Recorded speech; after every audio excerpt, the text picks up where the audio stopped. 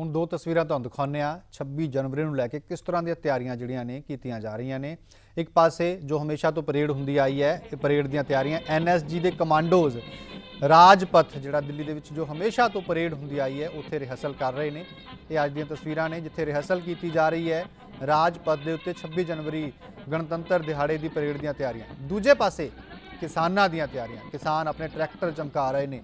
ਵੱਡੀ ਗਿਣਤੀ ਵਿੱਚ ਕਿਸਾਨ ਦਿੱਲੀ ਪਹੁੰਚਣਗੇ ਅਤੇ ਜੋ ਰੂਟ ਪਲਾਨ ਤੈਅ ਕੀਤਾ ਜਾਵੇਗਾ, ਉੱਥੇ ਆਪਣਾ ਟਰੈਕਟਰ ਮਾਰਚ ਸਮਾਨਾਂਤਰ ਕੱਢਣਗੇ। ਪੈਰਲਲ ਮਾਰਚ ਜਿਹੜਾ ਹੋਏਗਾ, ਇੱਕ ਪਾਸੇ ਇਹ ਪਰੇਡ ਚੱਲ ਰਹੀ ਹੋਏਗੀ 26 ਜਨਵਰੀ ਦੀ, ਜੋ ਕਿ ਆਜ਼ਾਦੀ ਤੋਂ ਬਾਅਦ ਤੋਂ ਜੋ ਲਗਾਤਾਰ ਜੋ ਗਣ- ਗਣਤੰਤਰ ਦਿਹਾੜਾ, ਜੋ ਸਾਡਾ ਗਣਰਾਜ ਦਿਹਾੜਾ ਹੈ, ਜਦੋਂ ਅਸੀਂ ਆਪਣਾ ਸੰਵਿਧਾਨ ਲਿਆ ਸੀ, ਉਸ ਤੋਂ ਬਾਅਦ ਤੋਂ ਲਗਾਤਾਰ ਚੱਲਦੀ ਆ ਰਹੀ ਹੈ।